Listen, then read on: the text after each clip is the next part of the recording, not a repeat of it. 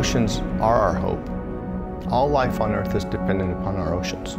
Most of our oxygen comes from the oceans. There are more cures that will come from the ocean than will ever come from land. Some of the microorganisms in corals might make an enzyme that drives new molecular biology. Every time we go down there, we're seeing animals which have never been seen before. The oceans provide food, energy, safe navigation. So we need an ocean that's healthy, valued, and understood. But we probably only know 5 to 10% of what the deep ocean is like. It needs to be mapped much more accurately. More accurate maps will help humankind. The challenge of working in the deep ocean is extraordinary. The pressure requires all kinds of special housings. You have salt water, which is very corrosive. You have intense temperatures, and it's incredibly dark. You can't communicate with it. It relies on big ships, and it costs a lot of money per day doing it. But if we can remove those expensives from the equation, that will make this step change in terms of our ability to map the oceans and do some useful work on the seabed as well. The Shell Ocean Discovery X Prize is a $7 million international competition where teams have been challenged to map the seafloor in autonomous or unmanned operational mode. Using the technology we have today, to map can take days, and we're asking them to do it in a matter of hours. The National Oceanic and Atmospheric Administration Bonus Prize, or the NOAA Bonus Prize, is a $1 million competition in which teams have to detect a chemical or biological signal and then track it to the source of that signal. We had 32 teams with members from well over 25 countries. Japan, Norway, Germany, Ghana, from junior high school students up to people that had been in the industry for 30 plus years. Closed my finance firm and went into engineering. It's not just for the experts, it's for everyone and anyone to take part. Originally, our round one testing was going to be in one location. We had secured Puerto Rico, but then Hurricane Irma hit. This thing continues to break records right now, 55 miles east northeast of San Juan. It didn't seem like it was total disaster, and then to get hit by a second one. Hurricane Maria slamming into the island, and one official saying the island is destroyed.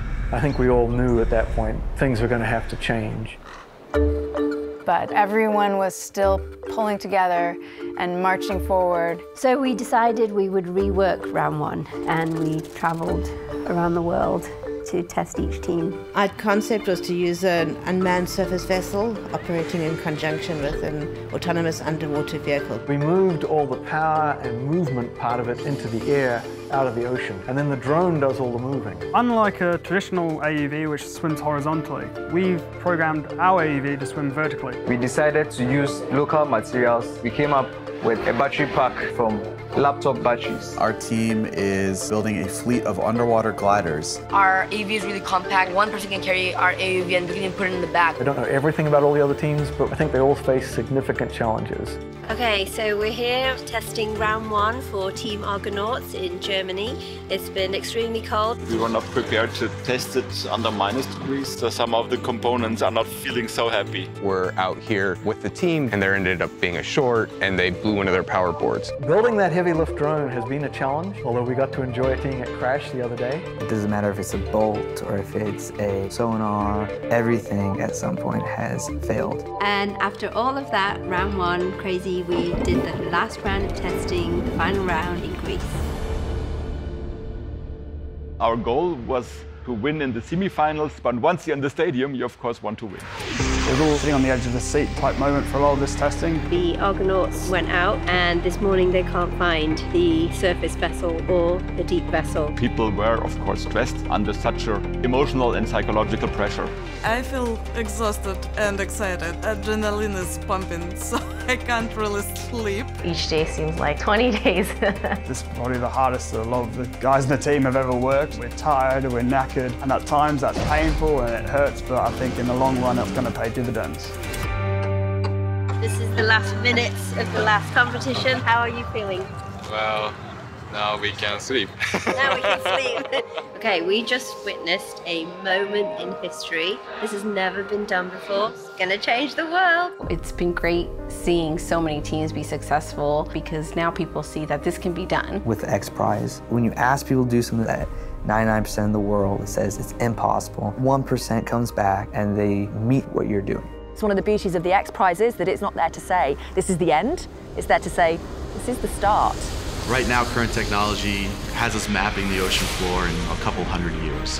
And we are going to develop a method to do it in 10. It's going to be earth shattering. The long term outcome from this project is a better understanding of our world. What lies under our oceans, Grand Canyons and Mount Everest, that we don't even know about.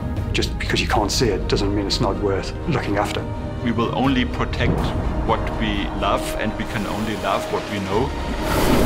It is an entirely new planet to be exploring.